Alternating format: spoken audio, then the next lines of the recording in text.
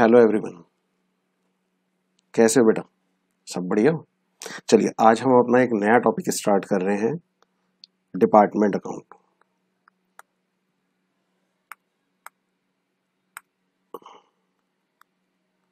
Department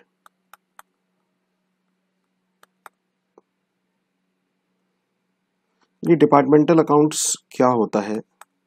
इसका क्या मतलब है? बेटा, ये पूरा का पूरा टॉपिक जो है ना ये आप लोगों ने जैसे फाइनल अकाउंट्स पढ़ रखा है। फाइनल अकाउंट्स पढ़ा है ना, बड़े बेसिक लेवल पे। ट्रेडिंग अकाउंट बनाते हो पीएनएल बनाते हो बैलेंस शीट बनाते हो। समझ लो, उसी से कनेक्टेड है।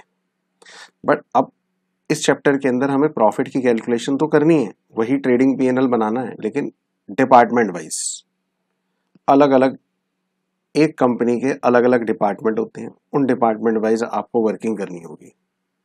सारा समझेंगे क्यों करते हैं, किस तरह से करते हैं, कैसे वो डिपार्टमेंटल अकाउंट्स बनेंगे, क्या बेसिस रहेगा, क्यों बनाएँगे हम, किस तरह बनाएँगे, सारी बातें एक एक करके समझते हैं। बेटा आज की क्लास बहुत इंपॉर्टेंट होगी और आज की क्लास के अंदर जो कंटेंट आपको जो भी चीज़ें मैं बता रहा हूँ, बहुत ध्यान से समझते हुए चलना। क्योंकि आज की क्लास के ऊपर बेस आपकी आगे की क्लासेस चलेंगी। आज की क्लास में आपको अच्छी तरह समझ में आता है डिपार्टमेंट के अंदर कोई दिक्कत आ ही नहीं सकती, बड़ा आसान सा टॉपिक है ये। हाँ ये टॉपिक थोड़ा सा ना कॉमन सेंस का भी है। मैं चेक कराऊँगा, देखना कई जगह आपको। वहाँ आपको कॉमन सेंस से जवाब मिलेगा। मतलब जिन बच्चों ने कॉमन सेंस बिल्कुल ठीक अप्लाई की तो वो एक बात कहते हुए नज़र आएँगे, सर, इसमें कुछ था ही नहीं।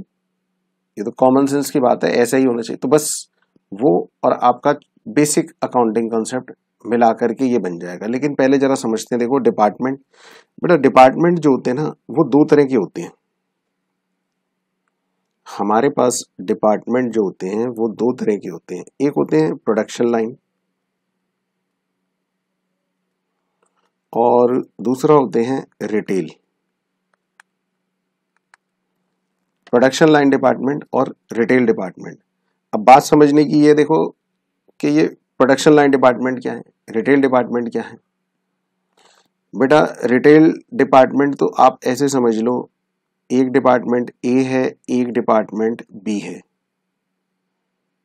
ए, बी को कुछ भी गुड्स ट्रांसफ़र नहीं करेगा और बी, ए को कुछ भी गुड्स ट्रांसफ़र नहीं करेगा। आपस के ट्रांसफ़र खत्म। कुछ नहीं आई बात समझ में? देखो ऐसा है। एक कंपनी, एक एंटरप्राइज जिसके लिए आप अकाउंटिंग कर रहे हैं, ठीक है? उसमें ऐसे मान लीजिए, ये ग्राउंड फ्लोर ये फ़र्स्ट फ्लोर यहाँ पर मान लो यूटेंसिल्स का वर्क हो रहा है। यहाँ पे क्लॉथ वर्क हो रहा है। ये क्लॉथ डिपार्टमेंट है। ये यूटेंसिल्स का है। तो ये आपस में क्या ट्रांसफ़र करेंगे? भाई, एक कंपनी अपने गुड्स क्लॉथ डिपार्टमेंट में बेच दिए, क्लॉथ डिपार्टमेंट बेच दिया करेगा, टैग लग के आएगा, वो बेच देगा, उतने में। यूटेंसिल्स पे टैग लगा हुआ आएगा, वो उतने में बेच देगा। इनका आपस में ट्रांसफ़र होने का क्या मतलब बनता है? कुछ भी नहीं। और दूसरे होते हैं प्रोडक्शन लाइन डिपार्टमेंट। जैसे मान लो, ए एक डिपार्टमेंट है, बी एक डिपार्टमेंट है, सी एक डिपार्टमेंट है, डी एक डिपार्टमेंट है। ए ने गुड्स को ट्रांसफ़र किया, बी को। बी ने सी को और सी ने आगे उनको बेच दिया। ये डी ने उसको बेच दिया। ए ने बी को, बी ने सी को, सी ने डी को, डी ने आगे सेल कर दी। जैसे देखो, एक एग्जांपल लेकर के चलते हैं। ये देखिए।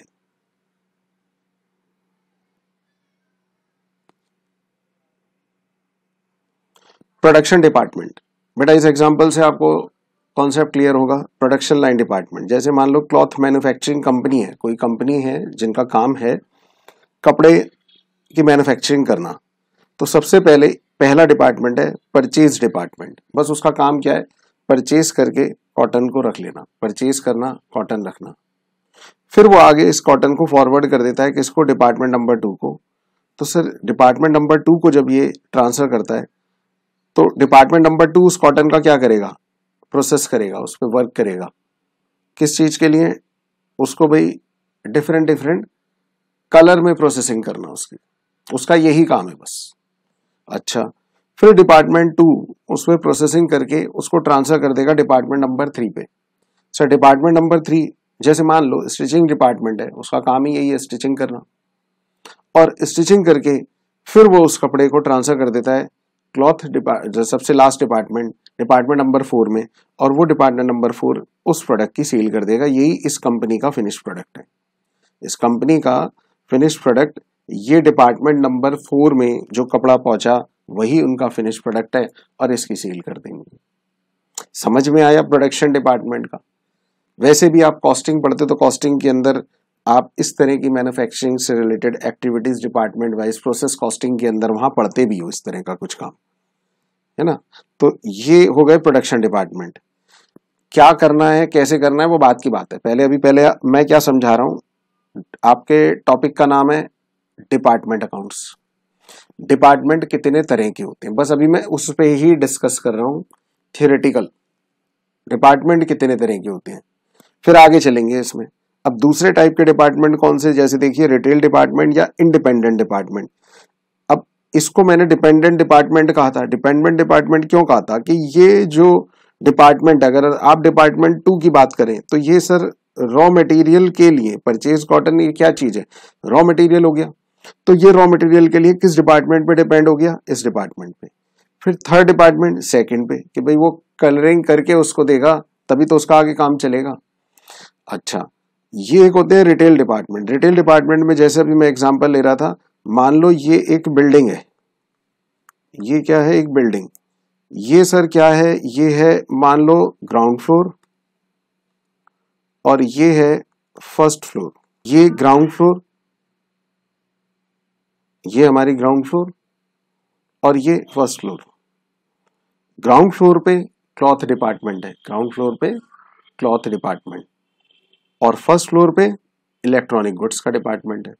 अब कंपनी की तरफ़ से गुड्स आए टैग लग के आया। अब तुम जाते भी होंगे कई बार। मॉल वगैरह में जाते हो, देखते हो या कई इस तरह के बड़े बड़े शोरूम बने हुए होते हैं। बस क्लॉथ डिपार्टमेंट बना हुआ है वहाँ पे। बस उस फ्लोर पे सिर्फ़ क्लॉथ कपड़े ही बिकते हैं उनके। दूसरा, आप फ़र्स्ट फ्लोर पे गए, वहाँ पर उनके यहाँ इलेक्ट्रॉनिक गुड्स रखे हुए हैं, ऐसे वही सेल होती है। तो कुछ इस तरह के भी रिटेल डिपार्टमेंट भी होते हैं। और ये इंडिपेंडेंट डिपार्टमेंट इसलिए कहलाते हैं, सीधा माल आया, सीधा बेचो, किसी और डिपार्टमेंट से आपका कोई लेना देना नहीं है। ऊपर वाले केस के अंदर अगर आप देखें तो एक डिपार्टमेंट दूसरे डिपार्टमेंट पे डिपेंड होगा। समझ में आया? पहले पॉइंट समझ में आया ये सारा? अच्छा दूसरी चीज़ ये कि देखो भाई, आप लोग देख रहे हो वीडियो लेक्चर तो आप इसमें बीच में पॉज करके, आपको थोड़ा टाइम लगेगा। मैं तो अब कंटिन्यूशन में समझा रहा हूँ आगे, लेकिन आप इसे बीच में पॉज करके आप नोट करते हुए चलें। जैसे अभी मैंने बिल्कुल स्टार्टिंग देखो यहीं से की थी बस। मैंने ऊपर आप कॉपी पे हेडिंग लिख लो डिपार्टमेंट अकाउंट्स और यही बात को मैंने कि भाई दो तरह के डिपार्टमेंट होते हैं, ये मैंने आपको समझा भी दिया। ये रहा, ये एग्ज़ाम्पल आप नोट कर लो।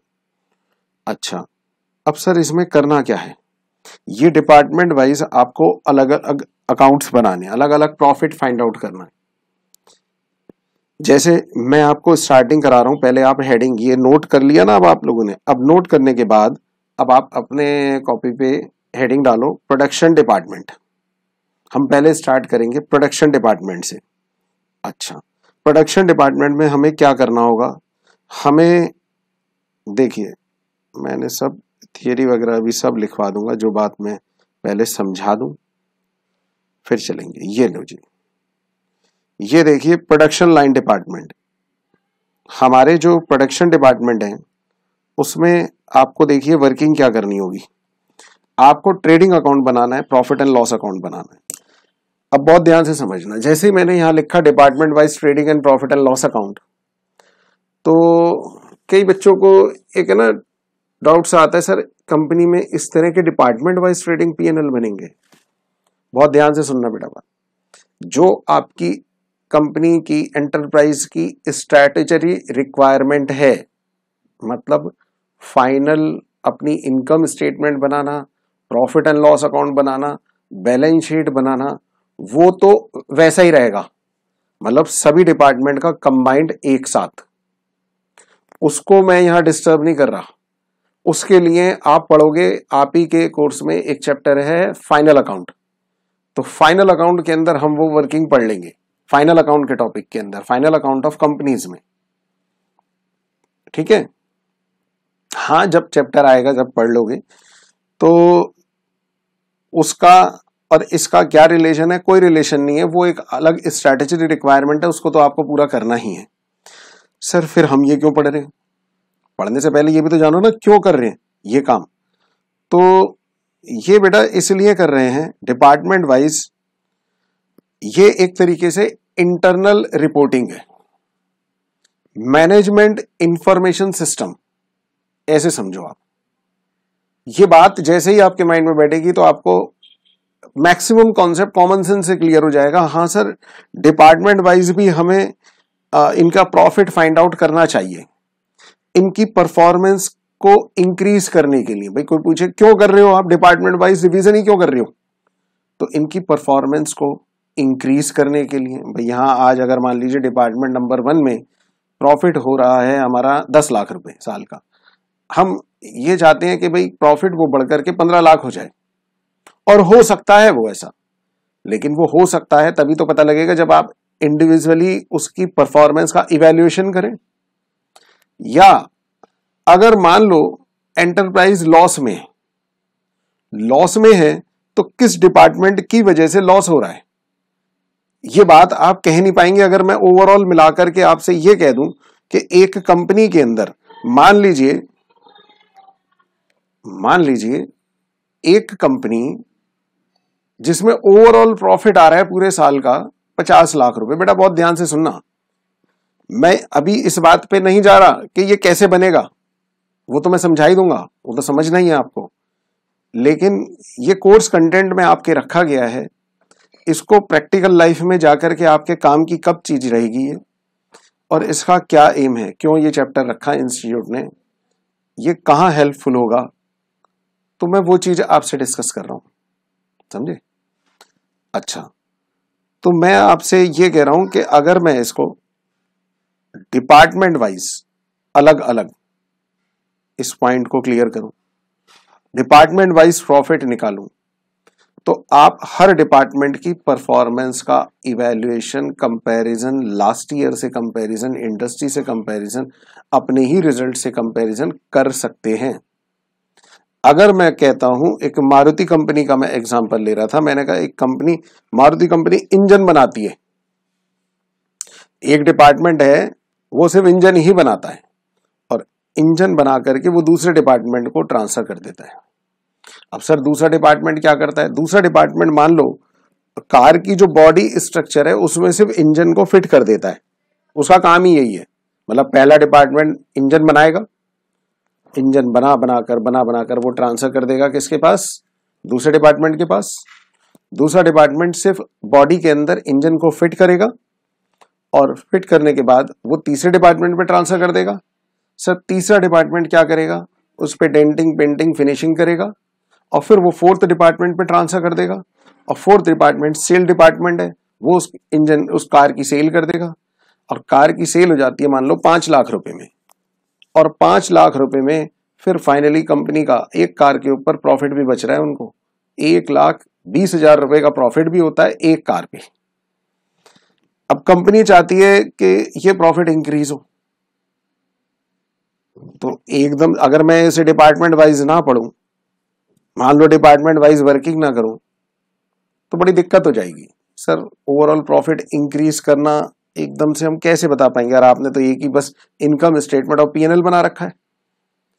लेकिन अब मैं देखो कंपनी के उस टारगेट को पूरा करने के लिए मैं कहता हूँ, नहीं, इंजन डिपार्टमेंट का ट्रेडिंग अकाउंट अलग बनाओ पीएनएल अलग बनाओ। नेक्स्ट डिपार्टमेंट का ट्रेडिंग पेनल अलग बनाओ, उससे नेक्स्ट डिपार्टमेंट का ट्रेडिंग पेनल अलग बनाओ, उससे नेक्स्ट डिपार्टमेंट का ट्रेडिंग पेनल अलग बनाओ। अब बच्चे कहते हैं, सर, उससे क्या फ़ायदा होगा? उससे समझो, देखो फ़ायदा क्या होगा। अब इंजन की अगर तुम अलग से कॉस्ट कैलकुलेट करते हुए चल रहे हो, इंजन की कॉस्ट आ रही है, भाई आपने ट्रेडिंग अकाउंट बनाया तो उसमें opening stock purchase direct expense ये सब चीज़ें डेबिट करोगे। और उसकी कॉस्ट आती है, इंजन की कॉस्ट आती है, मान लो एट्टी थाउज़ेंड अस्सी हज़ार रुपए कॉस्ट आ रही है। और जो ए डिपार्टमेंट है, जो इंजन डिपार्टमेंट है, वो बी डिपार्टमेंट को जब ट्रांसफ़र करता है इस इंजन को तो मार्केट प्राइस पे करता है, मान लो। अस्सी हज़ार में नहीं बेचता। अस्सी हज़ार में नहीं भेजता उसके पास। ट्रांसफ़र करता है, मान लो मार्केट प्राइस में सर, मार्केट प्राइस में जैसे मान लो मार्केट प्राइस है एक लाख रुपए। तो एक लाख रुपए पे ट्रांसफ़र करता है। अब इससे क्या होगा? इससे ये पता लगेगा कि ये जो हमारा इंजन डिपार्टमेंट है, ये एक इंजन पे हमें बीस हज़ार रुपए कमा कर दे रहा है।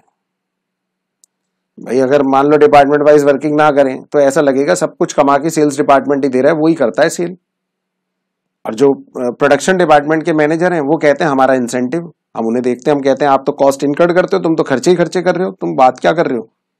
तुम्हें कैसे इंसेंटिव दें? बात समझ में जबकि काम तो वो भी कर रहे हैं, वो बड़ा अच्छा काम कर रहे हैं। अस्सी हज़ार रुपए का इंजन बनाकर आपको दे रहे हैं, जिसको आप मार्केट प्राइस में देखो तो वो एक लाख रुपए का है और वो जब दूसरे डिपार्टमेंट में ट्रांसफ़र कर रहे हैं तो इस दौरान बीस हज़ार रुपए उस डिपार्टमेंट ने कमा कर दिए। परफॉर्मेंस का इवेल्युएशन मैनेजर को इंसेंटिव आपके स्टाफ को इंसेंटिव कब दिया जाएगा? आप डिपार्टमेंट वाइज प्रॉफिट तो निकालो। बेटा, बात समझ में आ रही है सबको? मैंने कहा कॉमन सेंस की बात है यहाँ। ये चैप्टर में ना थोड़ा सा स्टार्टिंग में समझते समय भी और आगे थोड़ा कैलकुलेटिव भी है। बड़ा अच्छा चैप्टर है। कैलकुलेशन के पॉइंट ऑफ़ व्यू से मैथमेटिकल कैलकुलेशंस भी आएँगी इसमें। अकाउंटिंग थोड़ी आएगी। और मैक्सिमम समझते समय भी आपको पता लग रहा होगा हाँ सर, ये बड़े कॉमन सेंस की बात है। तो इंजन डिपार्टमेंट ने जो कुछ कमा करके दिया, बीस हज़ार रुपए कमा के दिए अब एक लाख रुपए में ट्रांसफ़र कर दिया। इस तरह से सर दूसरा डिपार्टमेंट की भी कॉस्ट निकाल लेंगे उसमें भी कुछ मार्जिन ऐड करेंगे फिर ऐसे ही तीसरे डिपार्टमेंट में ट्रांसफ़र कर देंगे तीसरा डिपार्टमेंट चौथे डिपार्टमेंट को ट्रांसफ़र करेगा। इसका मतलब डिपेंडेंट डिपेंडेंट समझ में आया मैंने इनको क्या क्या कहा था? प्रोडक्शन डिपार्टमेंट कैसे होते हैं? डिपेंडेंट डिपार्टमेंट होते हैं। एक डिपार्टमेंट की जो आउटपुट होती है, वो सेकंड डिपार्टमेंट की इनपुट बन जाती है। फ़र्स्ट डिपार्टमेंट इंजन डिपार्टमेंट की आउटपुट क्या है? इंजन तो वो नेक्स्ट डिपार्टमेंट के लिए क्या बन जाएगा? इनपुट बन जाएगा। यहाँ तक सब बात सबको क्लियर हुई? हो गई ना? चलिए, अब और आगे की बात समझते हैं। और आगे। सर, अगर मान लो लॉस में है, मैं अभी क्या समझा रहा हूँ? वापस समझ लो। अभी तक मैंने बताया दो तरह के डिपार्टमेंट होते हैं production department retail department production department हमने स्टार्ट कर दिया समझना। प्रोडक्शन डिपार्टमेंट के अंदर भी डिपार्टमेंट वाइज वर्किंग क्यों पढ़ते हैं, मैं उस कॉन्सेप्ट को बता रहा हूँ। मैं ये नहीं बता रहा ट्रेडिंग पीएनएल कैसे बनता है, वो तो आपको सबको आता है। अभी लिखूँगा तो और समझ में आ जाएगा। ये सारे पॉइंट मैंने लिख भी दिए हैं। अभी मैं आपको चेक करा दूँगा थियोरेटिकल सब बातें लिखी हुई हैं। तो इसलिए बस समझने पे फोकस करें। अच्छा। तो मैं बता रहा था आपको अगर मान लो लॉस में है कंपनी या लॉस में नहीं भी है कॉस्ट को रिड्यूस करना पड़ जाता है। कई बार ऐसी सिचुएशन बन जाती है जिसको हम कह देते हैं कॉस्ट को रिड्यूस करने वाली सिचुएशन कॉस्ट को कम करना। कॉस्ट को रिड्यूस कर देना। कॉस्ट को काट देना कॉस्ट को कम करना। जो इंजन डिपार्टमेंट है, उसमें कॉस्ट को रिड्यूस करने की बात की गई। कॉस्ट को कम करने की बात की गई। सर कॉस्ट को कम कैसे कर सकते हैं? अब बहुत ध्यान से सुनना। मैंने अभी बताया आपको जो इंजन डिपार्टमेंट है, वो इंजन की कॉस्ट उसको कितनी आती है? एट्टी थाउज़ेंड, जब वो खुद बना रहे हैं। अब अगर मैं आपसे ये कहता हूँ कि मार्केट में सेम क्वालिटी का इंजन सेवेंटी फाइव थाउज़ेंड में अवेलेबल है। सेवेंटी फाइव थाउज़ेंड में अवेलेबल है मार्केट में। अब आप मुझे बताइए, क्या करना चाहिए? सोचो। खुद बना रहे हो, अस्सी हज़ार रुपए की कॉस्ट पड़ रही है। मार्केट से लोगे तो पचहत्तर हज़ार में भी अवेलेबल है। क्या कहते हो आप? डिसीज़न लेना पड़ेगा। कंपनी को डिसीज़न लेना पड़ेगा, खुद बनाए या मार्केट से खरीदें। इसे क्या बोलते हैं? मेक और बाय ऐसा भी कुछ जाके डिसीज़न मेकिंग आप कॉस्टिंग में पढ़ोगे। मेक एंड बाय तो सर, इसका मतलब ये तो बड़ा इंपॉर्टेंट हो गया कि आपको डिपार्टमेंट वाइज वर्किंग करनी आनी चाहिए। यस बिल्कुल आनी चाहिए। इसीलिए मैंने क्या कहा, ये इंटरनल रिपोर्टिंग है। एक्सटर्नल नहीं है। क्या टैक्स डिपार्टमेंट को ये बता दोगे? इंजन की कॉस्ट कितनी आ रही है हमें? नहीं ना? तो बस ये इंटरनल रिपोर्टिंग के पर्पज से हम इसको अलग अलग पढ़ रहे हैं। मैनेजमेंट इंफॉर्मेशन सिस्टम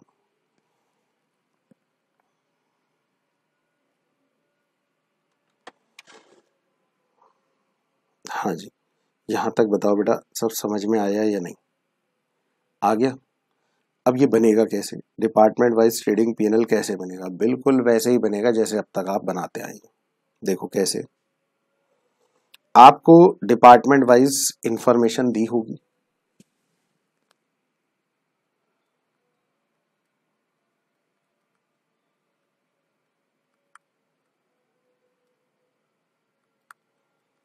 ये देखो टू ओपनिंग स्टॉक सभी डिपार्टमेंट का ओपनिंग स्टॉक दिया होगा, हम यहाँ लिख लेंगे। जैसे लिखते ही हैं। टू परचेजेस सभी डिपार्टमेंट वाइज परचेज दी होगी परचेज लिख लो।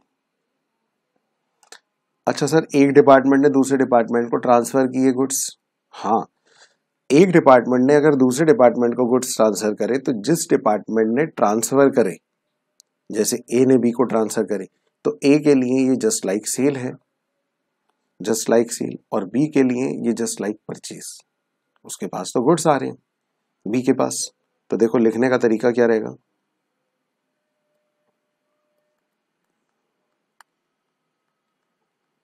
By internal transfer for example A ने ट्रांसफ़र किया या बी ने सी को ट्रांसफ़र किया, ठीक है? और यही internal transfer to internal transfer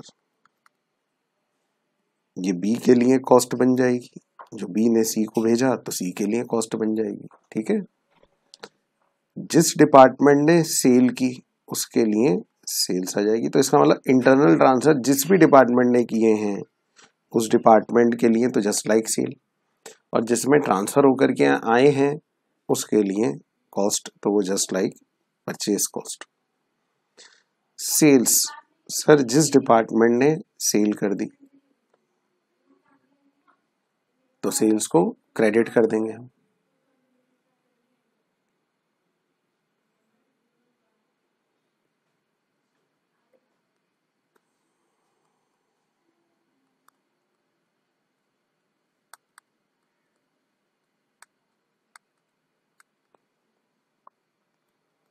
closing stock closing stock जैसे नॉर्मली क्रेडिट करते हैं, वैसे ही क्रेडिट करेंगे। मुझे बताओ यहाँ क्या दिक्कत है आपको? टू ग्रॉस प्रॉफिट जैसे नॉर्मल बनाते हैं, वैसे अभी समझते जाओ। आप बाद में जब मैं कर दूँ इसे नोट नोट पॉज करके नोट कर लेना। अभी लेकिन समझो। अच्छा यही ग्रॉस प्रॉफिट हाँ जी ग्रॉस प्रॉफिट आ गया यहाँ। ग्रॉस प्रॉफिट देखो, जो ट्रेडिंग अकाउंट में यहाँ पर ऊपर ग्रॉस प्रॉफिट आया था, उसी को मैंने पीएनएल में क्रेडिट कर दिया, यही तो करते आए यहाँ मुझे ये बताएँ, सब बच्चों को ट्रेडिंग अकाउंट में कोई दिक्कत? एक नई चीज़ आ गई आपके लिए, क्या चीज़? ये इंटरनल ट्रांसफ़र और ये इंटरनल ट्रांसफ़र जैसा मैंने बताया, ये एक एंटरप्राइज के लिए सेल है और दूसरे के लिए परचेज अब इसके बाद, जो खर्चे पीएनएल में आते हैं इनडायरेक्ट एक्सपेंसेस उनको डेबिट कर देंगे। कौन कौन से इनडायरेक्ट एक्सपेंसेस कोई से भी हो सकते हैं, जैसे मान लीजिए रेंट है। सर रेंट को अलग अलग बांटेंगे, किसी बेसिस पे बांटेंगे, वो बेसिस बताऊँगा, अभी समझाऊँगा, किस बेस पे बांटेंगे। रेंट तो भाई एक एंटरप्राइज एक जगह जैसे ये देखो ना, ये एक पर्टिकुलर जगह ली हुई है, किराए पर ली हुई है। अब इसमें यहाँ चल रहा है डिपार्टमेंट वन यहाँ डिपार्टमेंट टू यहाँ डिपार्टमेंट थ्री तो ऐसे तो हम देंगे नहीं रेंट के भाई। डिपार्टमेंट वन का रेंट ले लो डिपार्टमेंट टू का रेंट रेंट का तो एक ही चेक जाएगा। तो रेंट का जब एक चेक जाएगा तो उस केस के अंदर जो रेंट जाएगा, उसको सर बांटना पड़ेगा हमें डिपार्टमेंट वाइज वो सब बेसिस अभी क्लियर कराता हूँ, कैसे क्या है। मान लो स्टाफ की सैलरी है सैलरी के खर्चे को बांटना पड़ेगा। कोई मान लो एडवर्टीजमेंट का खर्चा है। तो कुछ ऐसे खर्चे जिनको आप कोई बेस लेकर के बांट सकते हैं।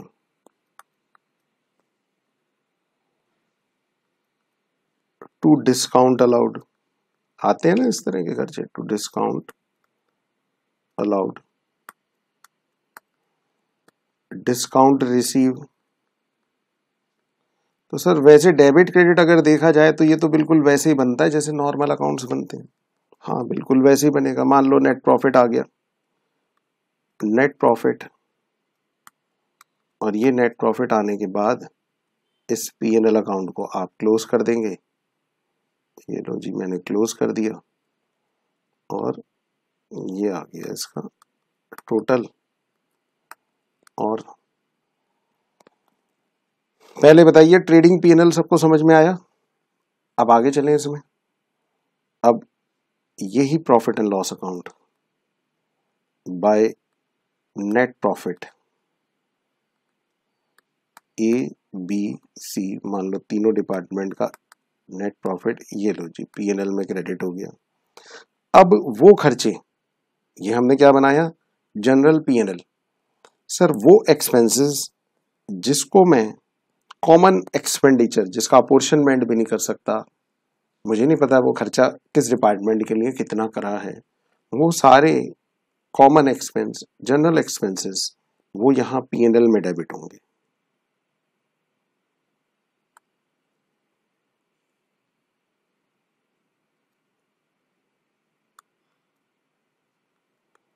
ये सब कॉमन एक्सपेंसेस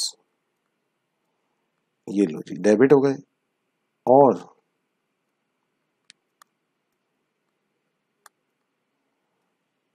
आप कहेंगे, ये नेट प्रॉफिट आ गया। वो सारे खर्चे डेबिट करने के बाद, ये क्या चीज़ आ गया? कंपनी का प्रॉफिट आ गया? भाई, ये देखो ना, ये तो डिपार्टमेंट वाइज प्रॉफिट था। और डिपार्टमेंट वाइज प्रॉफिट को अगर मैं जोड़ दूँ और कॉमन एक्सपेंडिचर माइनस कर दूँ तो ये क्या कहलाएगा? कंपनी का प्रॉफिट लेकिन बेटा, अभी कंपनी का प्रॉफिट नहीं आया।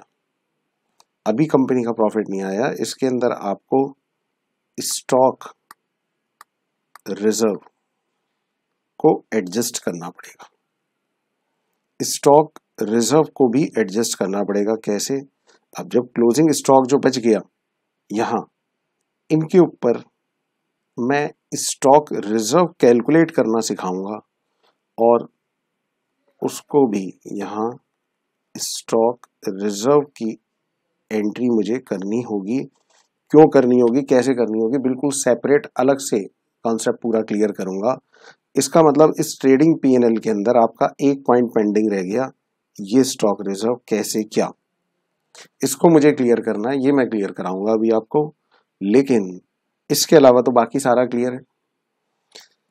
इसको बहुत डिटेल में, बहुत डिटेल में डिस्कस करेंगे। समझ लो पूरी क्लास लगेगी इसके ऊपर स्टॉक रिज़र्व की कैलकुलेशन के ऊपर कॉन्सेप्ट के ऊपर।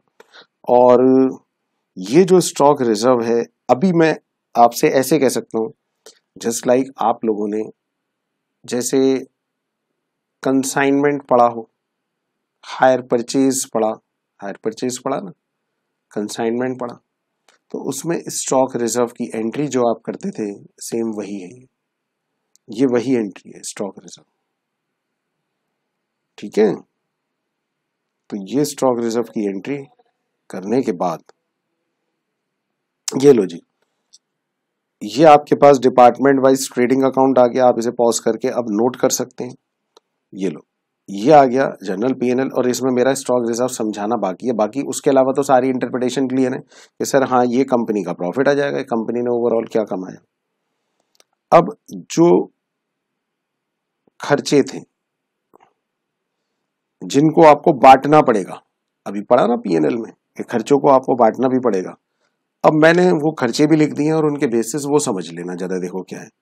अगर आपको वेजेस या सैलरी का खर्चा दिया जाए तो सर किस बेस पर हम इसे बांटें? ये लो जी, मैं यहाँ दिखा देता हूँ। नंबर ऑफ़ वर्कर क्या वो इतनी डिटेल देगा आपको? डिपार्टमेंट ए बी सी में कितने वर्कर काम कर रहे हैं? यस वो बता देगा। तो हम नंबर ऑफ़ वर्कर्स के बेच बेसिस पे इसका डिवीज़न कर देंगे। नंबर ऑफ़ वर्कर के बेसिस पर हम इसका डिवीज़न कर देंगे। या फिर time devoted to each department या वो टाइम बता दें कि इस डिपार्टमेंट में एम्प्लॉयज़ ने इतने घंटे काम किया, दूसरे में इतने किया, तीसरे में इतने किया, हम टाइम के बेस में। तो वही बात है यहाँ पर जैसा आप लोगों ने ओवरहेड डिस्ट्रीब्यूशन में पढ़ा था। जो भी बेस्ट बेस है उसे लेकर चलो, नहीं तो नेक्स्ट बेस को लेकर चलो। क्योंकि मैंने यहाँ पर देखो बीच में बीच में यहाँ पर क्या लिखा है? और। तो अगर नंबर ऑफ़ वर्कर अगर देखो ना, आपको क्वेश्चन में नंबर ऑफ़ वर्कर ही दिए हैं सिर्फ़। नंबर ऑफ़ वर्कर के बेस पे बांट दो। टाइम डिवोटेड दिया है, उसके बेस पे बांट दो। दूसरा labour welfare expenses labour welfare labour welfare का मतलब लेबर का कुछ चाय, पानी, इस तरह के खर्चे आप समझिए। तो वो किस बेस पे? नंबर ऑफ़ एम्प्लॉयज़ के बेस पे। जितने जितने वो डिपार्टमेंट में बताएगा, हम उसके बेस पे इस खर्चे को बांट देंगे। Provident fund ESI employees state insurance ये सब चीज़ें आप टैक्सेशन में भी पढ़ते हैं। होता है ना टेन परसेंट ऑफ़ सैलरी तो वही चीज़ यहाँ वेजेस और सैलरी का जो खर्चा अलग अलग आएगा और ये परसेंटेज वाइज दिया होगा, आप उसी पे परसेंटेज लगा करके उस खर्चे को कैलकुलेट कर लेना। और हर डिपार्टमेंट वाइज अलग अलग कर लेना। मतलब वेजेस और सैलरी के ऊपर निकालेंगे ये। अच्छा।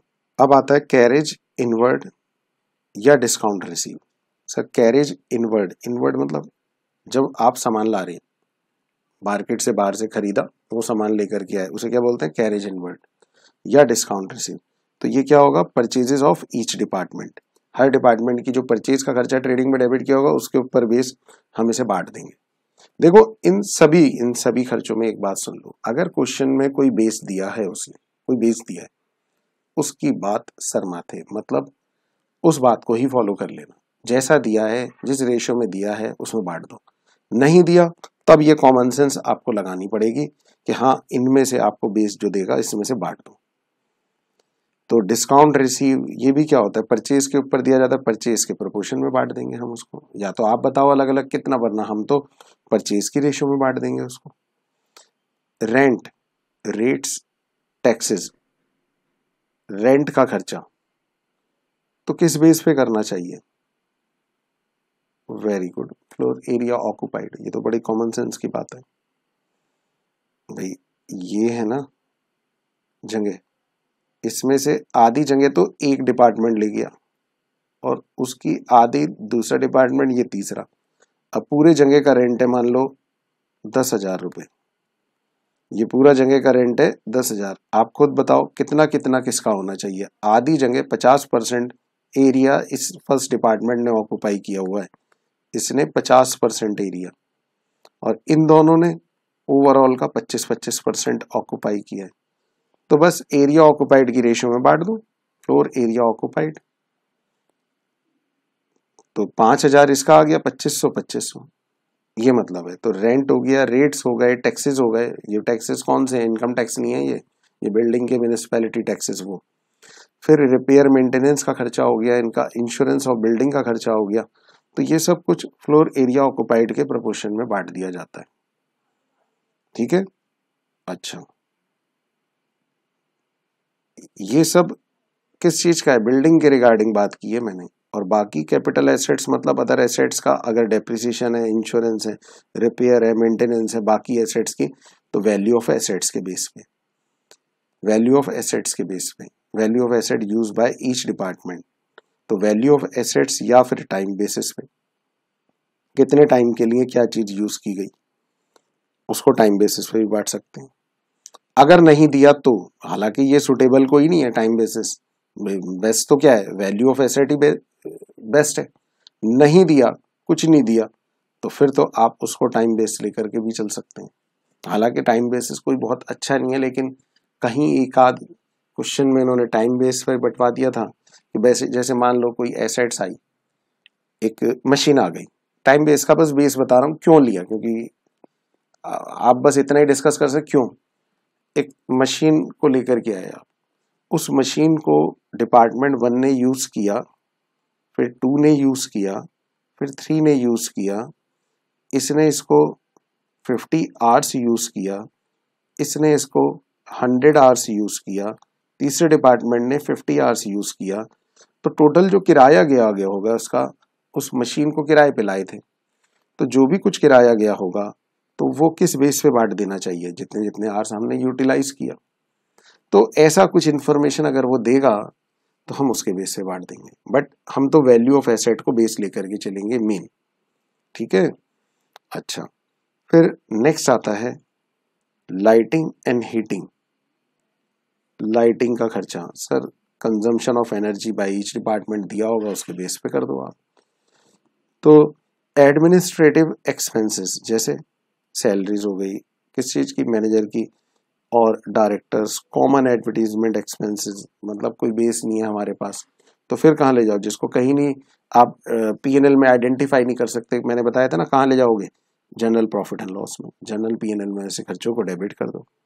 सेलिंग एक्सपेंस सेल से जुड़े हुए खर्चे, जैसे डिस्काउंट का खर्चा हो गया बेड डेट्स हो गया सेलिंग कमीशन हो गया फ्रेट आउटवर्ड है ट्रेवलिंग सेल्स मैनेजर ये सब सेल के ऊपर बेस खर्चे होते हैं। तो हर डिपार्टमेंट की सेल के प्रोपोर्शन में से बांट दोगे। Interest on loan amount of loan attributable to each department या तो अगर आपके पास ऐसी इंफॉर्मेशन है लोन आया, कितना कितना लोन हमने कहाँ कहाँ किस डिपार्टमेंट के लिए यूज़ किया, फिर तो लोन के अमाउंट की रेशियो में बांटो। वरना डेबिट कर दो जनरल पीएनएल में एज एन कॉमन एक्सपेंस हमारे को इंफॉर्मेशन तो है नहीं, हम कैसे बांटे उसको?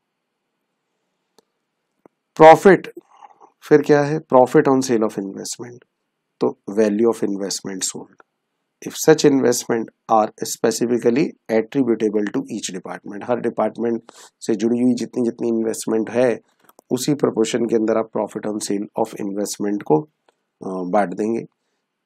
Otherwise credit to the profit and loss account as other income profit and loss account के अंदर आप इसे अदर इनकम में शो कर देंगे जनरल पीएनएल में। अगर इन्वेस्टमेंट बेची तो किस डिपार्टमेंट से कितनी कनेक्टेड है, अगर ये बताया गया है तो उस रेशियो में। नहीं दी तो मैं तो उसे जनरल पीएनएल के अंदर क्रेडिट कर दूँगा। चलिए जी, ये आपके पास कुछ बेसिस थे, इनको आपको दो तीन बार पढ़ना पड़ेगा क्वेश्चन करने से पहले। तो ये देखिए जी, ये आपके पास एलोकेशन ऑफ़ एक्सपेंसेस का ये चार्ट ये लो जी, मैंने स्क्रीन पे लगा दिया।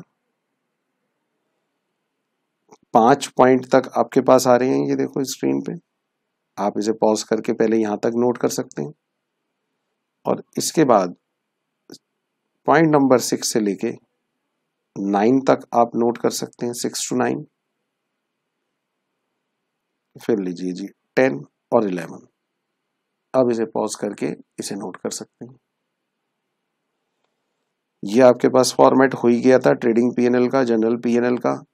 अब देखिए, जितनी बात मैंने अभी तक बोली थी, वो सारे पॉइंट्स भी मैंने लिख दिए थे। एक बार मेरे साथ साथ इसको और कवर कर लो। तो देखिए जी डिपार्टमेंट क्या है? What is the department department is a part of part or segment of an organisation अब तक तो अब क्लियर हो ही गया डिपार्टमेंट एक पार्ट है ऑर्गेनाइजेशन का। Departments are different section of same company या कंसर्न उनके डिफरेंट डिफरेंट अलग अलग सेक्शन होते हैं। Located at same place and doing business in different item either connected to each other or entirely different देखो इस बात को समझाने के लिए ना, ये जो सेकंड पॉइंट है, मैं ऐसे कहता हूँ, एक आगे आप ही पढ़ोगे, एक टॉपिक पढ़ोगे ब्रांच आज आप पढ़ रहे हो डिपार्टमेंट। ब्रांच के केस के अंदर पढ़ोगे, एक हेड ऑफ़िस है, और मान लो ब्रांचेस कई सारी हो सकती है, मान लो एक ब्रांच है। डिपार्टमेंट में क्या पढ़ रहे हैं आप? ये एक कंपनी इसके अलग अलग डिपार्टमेंट ये एक डिपार्टमेंट ये दूसरा डिपार्टमेंट ये तीसरा डिपार्टमेंट तो कहने का मतलब ये सेम प्लेस डिपार्टमेंट जो हो गए, वो एक ही जगह हो गए. हेड ऑफ़िस मान लो दिल्ली में है.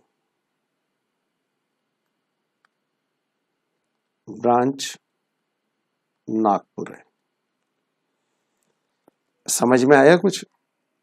कि ब्रांच जो होती है ब्रांच उसका जो पार्ट होता है, वो एक ब्रांच अलग एरिए में, दूसरी ब्रांच दूसरे एरिए में वहाँ हो सकती है। बट डिपार्टमेंट जो होते हैं located at same place same company company का नाम मान लो ए लिमिटेड एक कंपनी है, उसका। डिफरेंट सेक्शन है, ये डिपार्टमेंट ये अलग है, ये अलग है, ये अलग है। And doing business in different item ये हो सकता है डिफरेंट आइटम में डील कर रहे हो। अभी मैंने एग्जांपल लिया था, मान लो, यहाँ शूज़ की सेल हो रही है, यहाँ क्लॉथ्स की सेल हो रही है, यहाँ इलेक्ट्रॉनिक गुड्स की सेल हो रही है। Either connected to each other or entirely different अभी तो मेरे वाले एग्ज़ाम्पल में अलग अलग हो गए, लेकिन कनेक्टेड भी हो सकते हैं। इस डिपार्टमेंट में प्रोडक्शन हुई, यहाँ से दूसरे डिपार्टमेंट हो गई, दूसरे से तीसरे, ये कनेक्टेड हो गई। सेकेंड पॉइंट क्लियर हुआ? Department accounts are prepared to know the working results of each department ये जो डिपार्टमेंट अकाउंट्स का आप टॉपिक पढ़ रहे हो, ये किस लिए पढ़ रहे हो? To know the working results of each department हर डिपार्टमेंट का अभी समझा ना अलग अलग पी एन एल बनाते हो ट्रेडिंग बनाते हो। So that necessary steps can be taken against efficient and inefficient department efficient है तो और प्रॉफिट को कैसे बढ़ाया जाए? इनएफिशिएंट है तो उसे एफिशिएंट कैसे बनाया जाए या क्लोज कैसे करना है? बताया था ना अभी डिसीज़न मेकिंग में, वहाँ point we are learning this chapter know how to evaluate the performance of each department of an enterprise which are regarded as a profit center. ये सब कौन से होते हैं? सिर्फ़ प्रॉफिट सेंटर के लिए ही हम ये काम कर रहे हैं। आप कहेंगे, सर अकाउंट्स डिपार्टमेंट का भी एक डिपार्टमेंट बना के ट्रेडिंग पैनल बनाओ? नहीं। एडमिनिस्ट्रेशन डिपार्टमेंट है। सर, उसका भी बनाओ नहीं। हम सिर्फ़ प्रॉफिट सेंटर के लिए, क्योंकि अकाउंट डिपार्टमेंट हो गया एडमिन हो गया, ये सब है कॉस्ट सेंटर ये सब चीज़ें आप कॉस्टिंग में पढ़ते हो एक प्रॉफिट सेंटर एक कॉस्ट सेंटर तो हम यहाँ पे कौन से डिपार्टमेंट की परफॉर्मेंस का इवेल्युएशन कर रहे हैं? सिर्फ़ प्रॉफिट सेंटर का। अच्छा। To evaluate the performance of each department we will prepare department trading and profit and loss account prepared in columnar form अभी बनाया था मैंने। Profit and loss profit and losses shown by each department transfer to general PNL last में trading का result PNL में गया था। PNL का रिज़ल्ट कहाँ गया था? जनरल पीएनएल में। इसलिए to know the profit of the company फिर वहाँ से आपके पास क्या निकल के आया था? कंपनी का profit these final accounts department trading और PNL is a part of management information system ये भी मैंने बताया था आपको। ये मैनेजमेंट इंफॉर्मेशन सिस्टम का पार्ट है। And use for internal purpose only ये कोई बाहर वालों को देने के काम की चीज़ नहीं है। आप कोई कंपनी आपको मारुति कंपनी बताती है कि इंजन कितने में बना? आप कस्टमर हैं, आपको कोई बताती है तो ये सारी इंफॉर्मेशन किसके काम की है? इंटरनल यूज़ की है। These final accounts not a part of statutory final accounts ये स्ट्रेटेजरी फाइनल अकाउंट्स का पार्ट भी नहीं है कि कहीं वहाँ अटैच करने हो। ये सिर्फ़ इंटरनल रिपोर्टिंग के लिए। बट सच क्लासिफिकेशन में help segment reporting A S seventeen अच्छा। आगे चल के आप पढ़ोगे ग्रुप टू के अंदर। पहले तो ग्रुप वन में ही हुआ करता था ए एस सेवनटीन लेकिन अब उसे ग्रुप टू के अंदर रख दिया गया। ए एस सेवनटीन का जो topic A S seventeen accounting standard seventeen वहाँ पढ़ोगे आप सेगमेंट सेगमेंट मतलब पार्ट डिवीज़न वाइज रिपोर्ट करना, उनकी परफॉर्मेंस का इवेल्युएशन करना तो ये उसके काम आ जाते हैं, जो डिपार्टमेंट है। अलग अलग डिपार्टमेंट तो सेगमेंट रिपोर्टिंग के लिए क्लासिफिकेशन हेल्प करेगा ये सेगमेंट रिपोर्ट बनाने में। ऐसे समझो। वहाँ पे भी आपको सेगमेंट वाइज रिपोर्टिंग सिखाई जाती है, बनानी होती है। चलिए जी, अब अब देखो, मैं यहाँ पर फिर रोक देता हूँ। आप इतना पार्ट पॉज करके नोट कर सकते हैं। ये लो जी। यहाँ से यहाँ तक आप नोट कर सकते हैं। और फिर ये लास्ट पार्ट तो मैंने आपको सारा पार्ट नोट भी करा दिया है साथ साथ। ठीक है ना? चलिए, अब करेंगे हम प्रैक्टिकल क्वेश्चन इसी इसी के ऊपर बेस्ड प्रैक्टिकल पार्ट देखेंगे।